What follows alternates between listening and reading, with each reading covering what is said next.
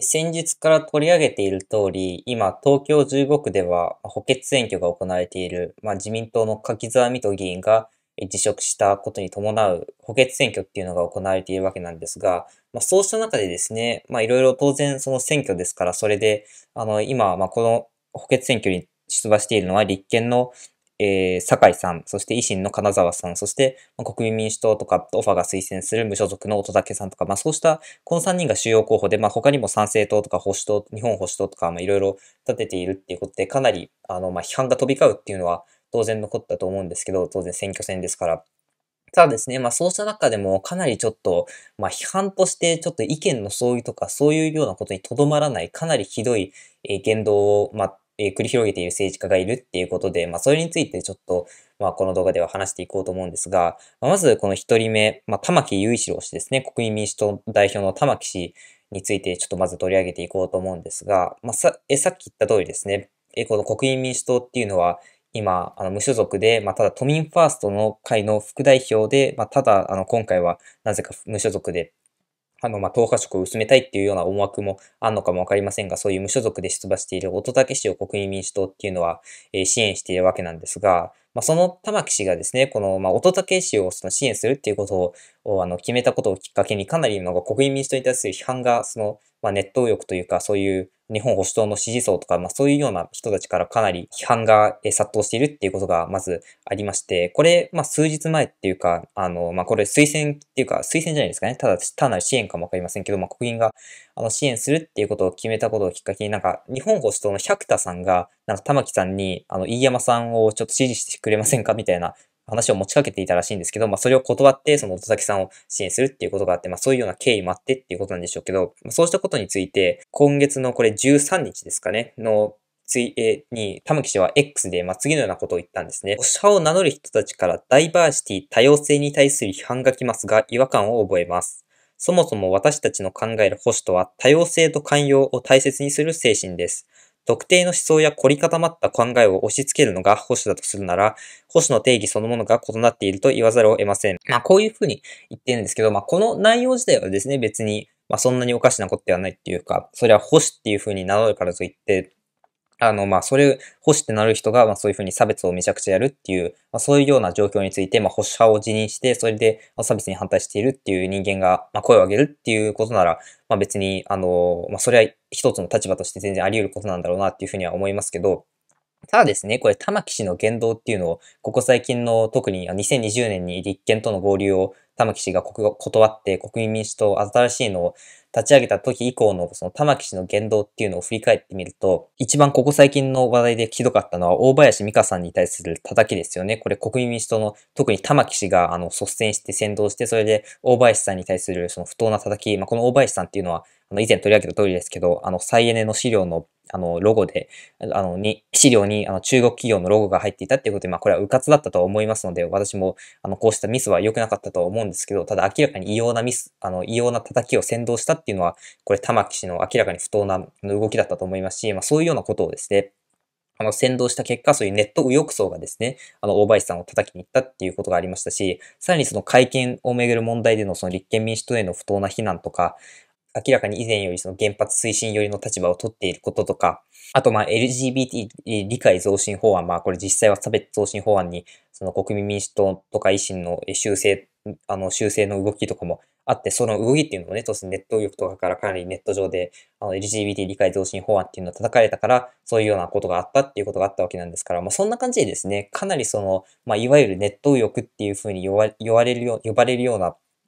あの、層にこびてき、こびるような動きを玉木氏っていうのはここ最近ずっとしてきたわけじゃないですか。ですから結局そのなんか違和感を覚えますとか多様性をと寛容を大切にとか言ってもですね、なんかそういうようなことを、あの、真っ向から否定するような層に、えー、ここ数年、その媚びを売り続けた結末がこれですよっていう話ですから、そもそもですね、そんな、あの、媚びを売るような言動を、あの、バンバンバンバン繰り広げていなければ、別になんか100だから、そんな、あの、えー、飯山さんを支援してくれなんて、そんな、あの、こと言われるはずもなかったですからね、そういうような、支援してくれる可能性があるかもしれないっていうふうに思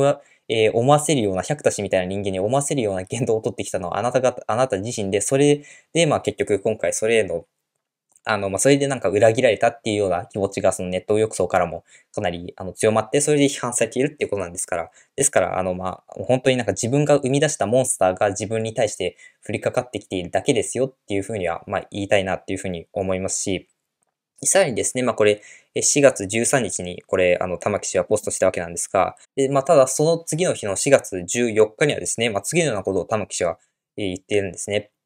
各種世論調査を見ても、東京15区で圧倒的に強いのは、立憲民主党と共産党が応援する女性候補予定者です。乙武氏や国民民主党に関心持っていただけるのはありがたいですが、保守派の皆様、本当に勝ちたいなら、そちらの対策をされてはどうですかこっちも必死です。この選挙は甘くありませんよ。っていうふうに、ま、言っているわけなんですけど、あの、これですね、なんか本当これ卑怯な書き込みだなっていうふうに思いまして、というのも、やはりまあこれ当然玉木氏、このさっきのポストであった通り、そのなんか自分に対して、この乙武氏に対して多様性に対する、あの、批判っていうか、まあ、明らかにそのヘイト的な書き込みっていうのが乙武氏に対して、あの、とか、ま、国民民主党に対して不当な非難っていうのが向けられているっていうことを、ま、認識した上で、いや、私じゃなくて今、あの、トップをこの世論調査とかで走ってるのは明らかに酒井さんなんだから、そっちに対する、え、批判に、あの、そっちの対策をしてはどうですかっていうふうに言っているわけなんですから、それで、ま、これ、あの、あ、なんか明示的にそっちに対して嫌がらせをしろとかいうふうに言ってるわけではないですけど、ただ今ですね、この乙武さんとか、あの、国民民主党に対してそういうネット浴槽から、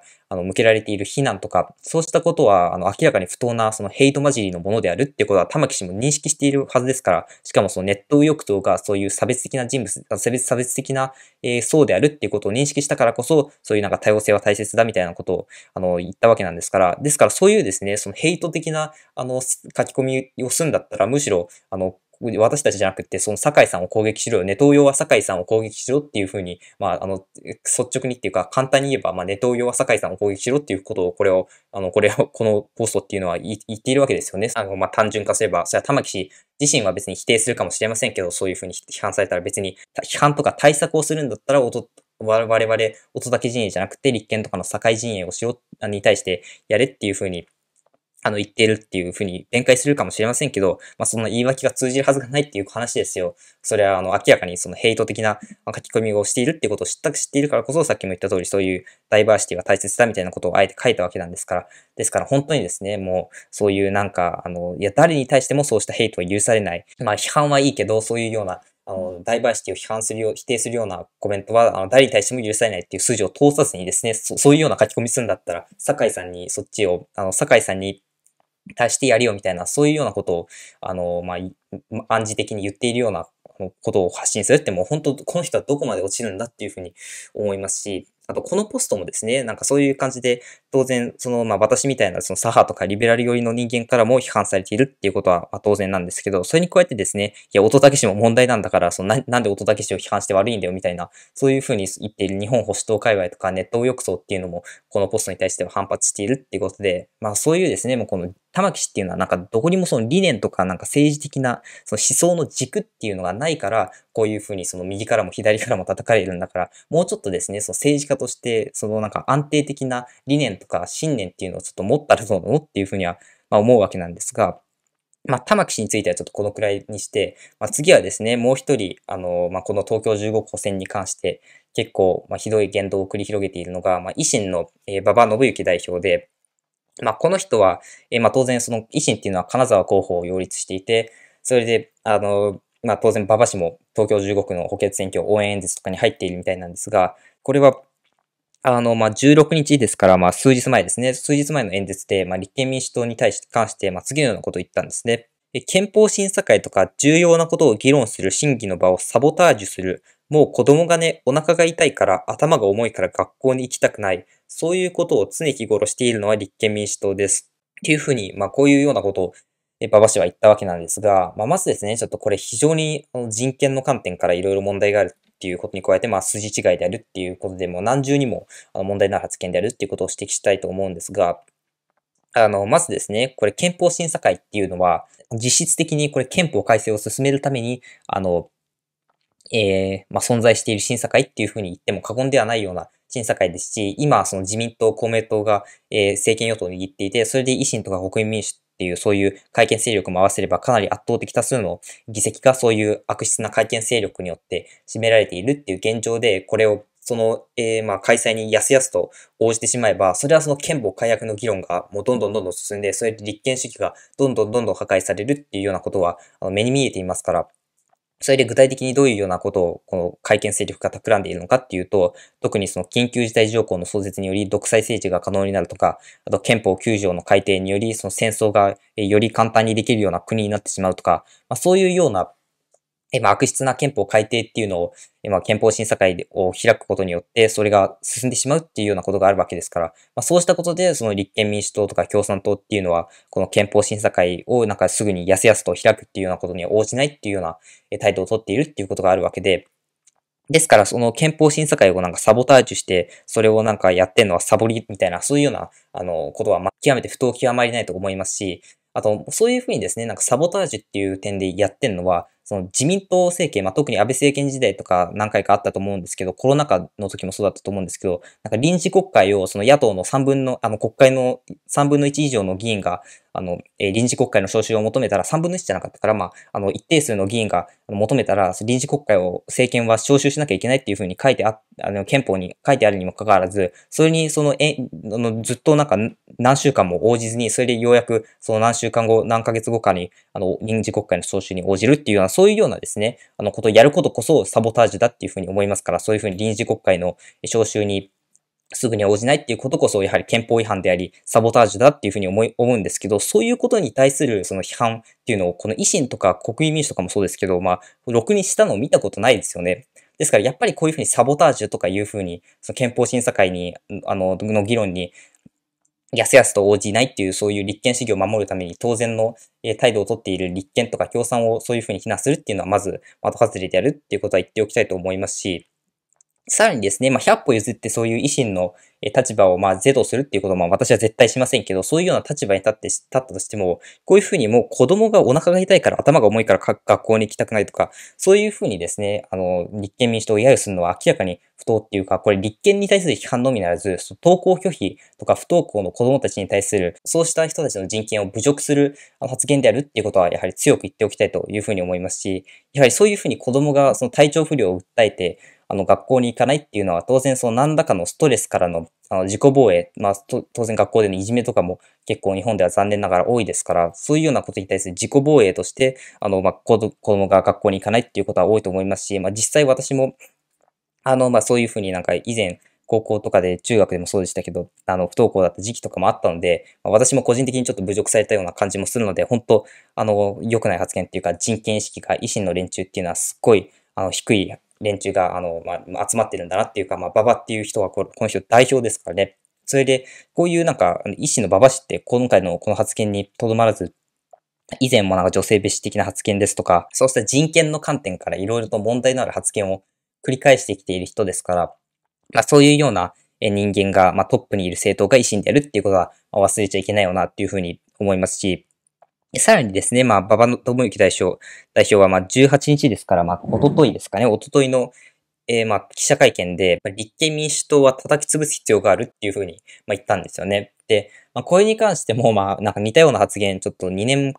去年か2年前かぐらいにもちょっと立憲民主党を叩き潰すみたいな、あの、ことを日本はいらない、日本にいらない政党とかも言ってましたし、あと共産党も、あの、なんか日本には必要ないみたいなことを言って、それで、なんか立憲とか共産とかそういうような、あの、政党の存在自体をね、なんか否定するようなことを言っているっていうことで、まあ、本当にこの公党の党首として、なんか極めて、あの、まあ、品位に欠けるっていうか、まあ、品位っていうか、その民主主義の挑戦ですよね。そういう、その政党の存在自体をそういうふうに叩き潰すとかいうね、そういうようななんか表現のあの使い方っていうのも本当維新のなんかヤクザ体質みたいな、実際ハラスメントとかも維新では結構多く思ってますから、まあそういうようなあの体質をよくまあ表している発言なんじゃないのかなっていうふうにまあ思うわけなんですが、まあ、これに関してはですね、え立憲の泉代表も、あの、まあ、その前には、なんか、あの、その前にもなんか補選の演説で立憲民主党には投票しないでほしいっていうふうに馬場氏が言ってるけど、どうなのかみたいなことを記者に問われたときは、まあ、別にその維新とやり合ってもあんまり利益はないから無視するみたいなことを言ってたんですけど、まあ、ただ、さすがにこの叩き潰す発言に関しては、泉代表も、えー、まあ、次のようなことを言ったんですね。相当焦りがあるのではないか、焦りがあるから発言がどうしても乱暴になってしまう。ということで、まあ、本当に、あの、まあ、その通りだろうなっていうふうに思いまして、まあ、やっぱね、そりゃ、その今一番その日本の政治を腐らせているのは、まあ、その大阪ではね、当然維新があの結構っていうか、維新が一番悪いっていうか、むしろ自民党とあの手を組んでまでも維新のあの明らかな不当な、明らかに不当なっていうか、あの横暴な、えー、不正、姿勢を変えるっていうことを、まあ、大阪ではやっているとは思うので、それが、あの、大阪では正しいと思うんですけど、ただ国政全体で言うと、明らかにその自民党が、あの、一番悪いっていうか、当然、裏金を作ったり、そういう金権腐敗政治っていうことを、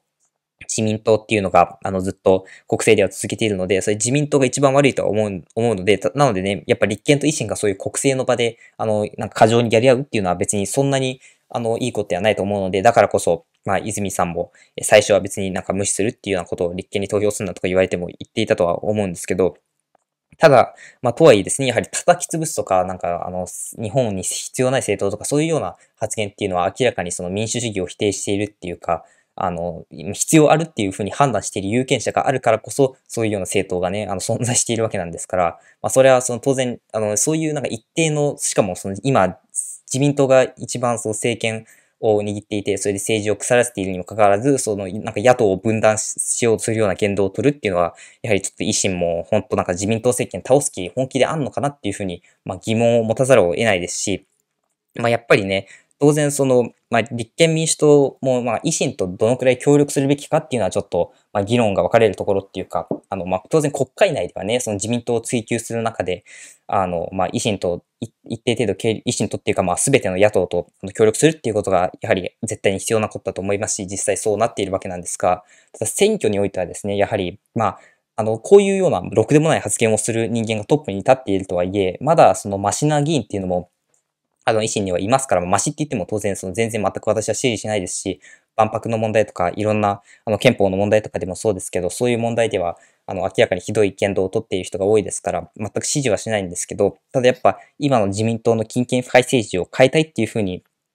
あの、本当に思っているっていうふうに思うような維新議員もいますから、まあ、と、あの、一人名前を挙げるとすれば、あ青柳仁議員とかですね、あの、あの人は、あの政治倫理審査会とかでも結構、あの、いい質問あの、してま、してましたから、それ裏金議員を追及する中でね。ですからやはり、あの、そういうふうになんか選挙においても協力するっていうことをなんか鼻から否定するものでは、まあ正直ないんですけど、ただやっぱり、とはいえですね、こういうようなその危険な、あの、まあ、人権を踏みにじるような発言をする人間がトップに立っている、まあ、危険性を有している代表、あの政党であるっていうことに対する問題意識っていうのは、あの、危機意識っていうのは、絶対にあの忘れてはいけないっていうふうに思いますし、あと、やっぱりこれ、あの、維新と協力するっていうことも、一案としてあり得るとは思うんですけど、ただ同時にですね、これ維新があの候補者として立っている、立つことによって、その立憲の票より、やはり自民党の票の方が削れる、削られるっていう、そういうようなあの可能性すら、あの、ありますから。ですから、やはりそういうようなことは、まあ私は別にそういうようなそのデータにあの精通しているような人間ではないので、実際どうなのかはちょっとよくわからないですけど、ただやはりですから、そのなんか絶対にその候補者調整をしたら、それが自民党を倒すことになるっていうような、そういうような単純な話では、まあ、立憲と維新に関しては言えると思いますから、まあ、立憲民主党と共産党だったらね、当然共産党に普段投票している人が自民党に入れるなんてことは、まあ、ほぼほぼありえないですから。ですから、やはり立憲民主党と共産党とか社民党とか令和とかだったら、まあ、調整した方がいいだろうなっていうふうには思うんですけど、やはり維新に関してはね、ちょっと、あの、まあ、微妙な部分もあると思うので、まあ、なので、まあ、この維新との選挙協力っていうのは、まあ、そう単純な話ではないんだろうなっていうふうに思いますけど、まあ何にせよですね、やはりこの維新っていう政党、